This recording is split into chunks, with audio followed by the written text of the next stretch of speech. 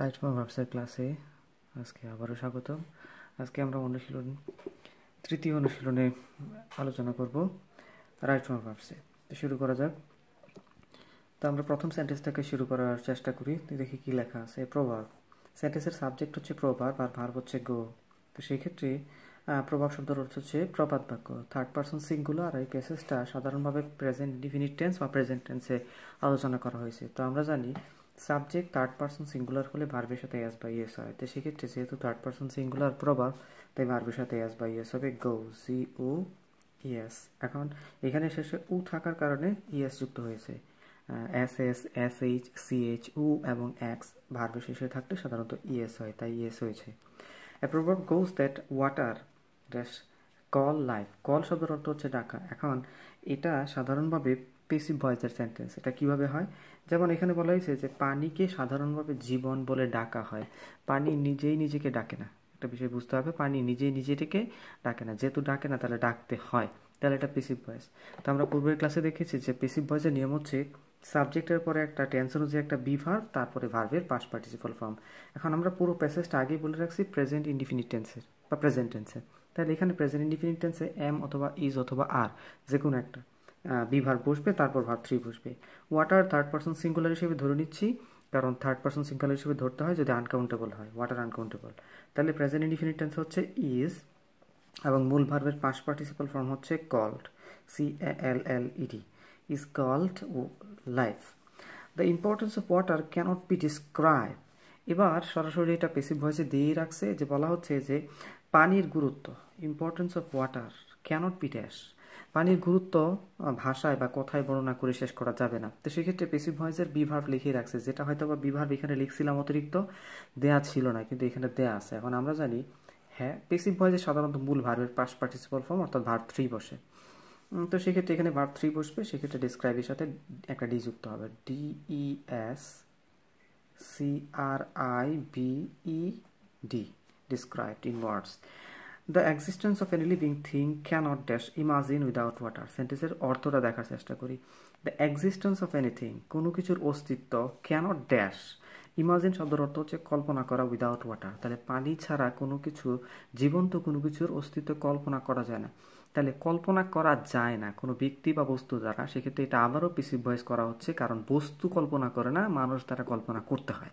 যেহেতু সেরকম, তাহলে পেসিভ ভয়েস তাহলে আমরা যেটা দেখতে পাচ্ছি, পেসিভ ভয়েসে সাধারণভাবে যদি অক্সোলারি ভার্ব থাকে, তাহলে সেটা থাকবে এবং অতিরিক্ত একটা বি ভার্ব দিয়ে তারপর ভার্ব থ্রি এখন বি ভার্ব কি বসবে? আমরা পূর্ববর্তী ক্লাসে অনুশীলন একে আলোচনা করেছি যে বি ভার্বগুলো কোনগুলো। যদি can could may might shall should will would এগুলো থাকে, অর্থাৎ মডেল অক্সিলারি ভার্ব থাকে, তাহলে বসবে অতিরিক্ত বি ভার্ব বসবে বি অর্থাৎ ভার্বের বেস ফর্ম কারণ এখানে ক্যান মডেল অক্সিলারি। এরপর ভার্ব থ্রি অর্থাৎ ইমাজিনের সাথে একটা ডি যুক্ত হবে। I M A G I N E D imagined without water we cannot do a single day এখানে একটা ফ্রেজ যুক্ত করা হয়েছে cannot do a single day মানে হচ্ছে একদিন চলতে না পারা উইদাউট ইট তাহলে আমরা একদিনও চলতে পারিনি এটা ছাড়া। এবার লেখা আছে ইট ইট হচ্ছে third person singular subject use for various purposes একটা বিষয় খেয়াল করতে হবে সেন্টেন্সের অর্থ বলতেছে এটা ব্যবহার করা হয় অনেক অনেক উদ্দেশ্যে, ভিন্ন ভিন্ন উদ্দেশ্যে। এখন পানিকে ব্যবহার করা হয় ভিন্ন ভিন্ন উদ্দেশ্যে। পানি নিজেই নিজেকে কিন্তু ব্যবহার করে না। তাহলে আবারও সেই পেসিভ ভয়েসে যাচ্ছে। তো পেসিভ ভয়েসের নিয়মটা আগেই বলে রাখছিলাম, পূর্ববর্তী দুইটা রুলস থেকে সাবজেক্টের পরে একটা বি ভার্ব এখানে বসবে এবং তারপরে সাধারণভাবে ভার থ্রি বসবে। এখন পরীক্ষার খাতায় যেটা দেখা যায়, অধিকাংশ শিক্ষার্থী ওই বি ভাবটা না লিখে শুধুমাত্র ভার থ্রিটা লেখে। সেক্ষেত্রে কিন্তু মার্কস দিবে না। অর্থাৎ সেন্টেন্স পূর্ণ করার স্বার্থে টেন্স পূর্ণ করার স্বার্থে অতিরিক্ত বিভাগগুলো দিতে হবে। তাহলে এটা প্রেজেন্ট টেন্সে থাকার কারণে এম অথবা ইজ অথবা আর তাহলে ইজ ইটের সাথে ইজ বসে, বাকি দুটা বসে না। তাহলে লিখলাম ইজ তারপর মূল ভার্বের পাস পার্টিসিপাল ফর্ম হচ্ছে ইউজড তাহলে it is used for various purposes এটা অনেক অনেক উদ্দেশ্যে ব্যবহার করা হয়। আমার এগ্রিকালচার আমাদের কৃষি, আমরা পূর্ববর্তী ক্লাসে সম্ভবত এক্সারসাইজ টুতে এই রিলেটিভ প্রনাউন নিয়ে আলোচনা করেছিলাম। সেক্ষেত্রে যারা মিস করেছে, তা সেখানে সেটা দেখে নিবে দুই number এক্সারসাইজটা who who what whose that এগুলোকে বলা হয় রিলেটিভ প্রনাউন আমরা রিলেটিভ প্রনাউন পেলে সেগুলোকে সাবজেক্ট হিসেবে ধরি না, ঠিক তার আগেরটা সাবজেক্ট তাহলে সেক্ষেত্রে সাবজেক্টটা কি? এগ্রিকালচার এখন এগ্রিকালচার থার্ড পার্সন সিঙ্গুলার কারণ এটা আনকাউন্টেবল নাউন সেক্ষেত্রে থার্ড পার্সন সিঙ্গুলার সেক্ষেত্রে আমাদের এইখানে দেখতে হবে স্কি লেখা আছে সে। তাহলে আওয়ার এগ্রিকালচার যেটা হুইচ আমাদের কৃষি যেটাকে বলা হয়, এখন কৃষি কিন্তু নিজেই নিজেকে বলে না। কৃষিকে বলতে হয় আমাদের দ্বারা, মানুষ কর্তৃক। যেহেতু মানুষের দ্বারা বলা হয়, তাহলে আবারও সেই পেসিভ ভয়েসের দিকে ধাবিত করতেছে, তাহলে আবারও সেই একটা বি ভার তারপর ভার থ্রি এখন এটা দেখছিলাম যে এগ্রিকালচার থার্ড পার্সন সিঙ্গুলার তাহলে সেক্ষেত্রে প্রেজেন্ট ইন্ডিফিনিটেন্সে বসবে এম অথবা ইজ অথবা আর থেকে যে কোনো একটা, যেহেতু এটা এক বচন, তাই এখানে ইজ বসছে। আর মূল ভার্বের সে থেকে হচ্ছে পাস পার্টিসিপাল ফর্ম হচ্ছে said to be blood of our economy fully এবার এই সেন্টেন্সটা এখান থেকে হুইস থেকে, এইটুক পর্যন্ত ধরি সেটা subordinate clause subordinate subordinate clause কিন্তু প্রিন্সিপাল ক্লজের ভার্ব কিন্তু আমরা এখনও লিখি নাই, লিখব এখানে। তাহলে প্রিন্সিপাল ক্লজের সাবজেক্ট এখনও এগ্রিকালচারে থেকে গেছে থার্ড পার্সন সিঙ্গুলার তাহলে এখানে ভার্বটা ইউজ করতে হবে। তাহলে আমাদের কৃষি পূর্ণভাবে নির্ভর করে।